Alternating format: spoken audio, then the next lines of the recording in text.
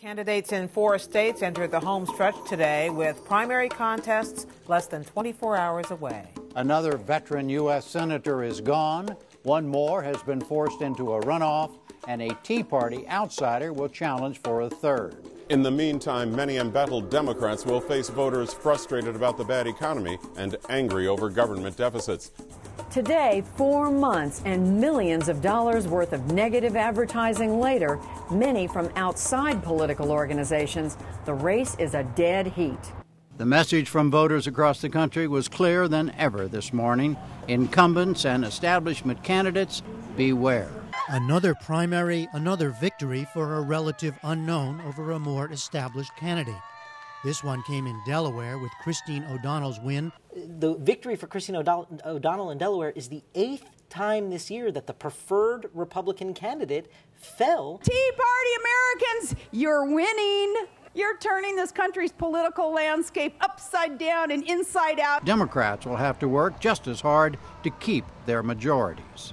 A New York Times CBS News poll found critical blocs that supported the president and his party two years ago are now defecting to Republicans. With the economy still struggling and Obama policies under attack, all the Democrats here, even Russ Feingold, find themselves facing a tougher political environment. It's a change election. This is a this is a groundhog day election. For the Democrats, it was the Republicans who were in office in 2006, 2008.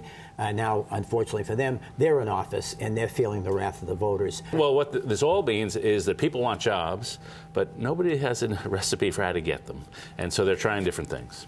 Why are they holding you responsible for this? Well, they're holding a number of people, me and Obama principally, uh, even though anyone logically understands that we had nothing to do with creating the problems. They were there when the new Congress started. Government is out of control in Washington, and we need to rein it in and begin a new drive for a smaller, less costly, and more accountable government in our nation's capital. We are very confident about the decisions that we have made, about the priorities and legislation that we have passed, health care reform for all Americans, Wall Street reform, the list goes on. Members are going home to talk about that, but also to talk about the future. What is the choice? They have to get their partisans, their most committed supporters, right. to the polls first. And no doubt we see that's what Barack Obama's been doing nonstop. He's going to Democratic strongholds and, and trying to rally that base. The, the, the other side is counting on all of you having amnesia, just forgetting what happened here. We can't return to a philosophy that nearly destroyed our economy and decimated the middle class right here in Ohio. The voters are tired of the fact that the federal government has not listened to them over the past two years, has moved in its own direction at its own rhythm, and they want to pull back on that. And I think you're going to see a wave, an unprecedented wave, uh, on Election Day.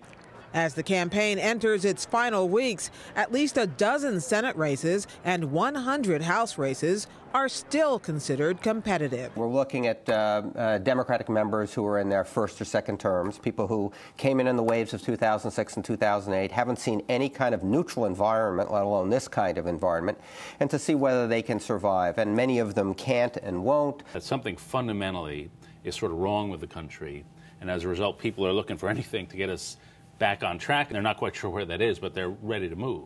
Even voters who have jobs see jobs as the number one issue in this race. I have a job. I know a lot of people I know don't have jobs, so that's the main thing is it's getting the jobs back here where we need them.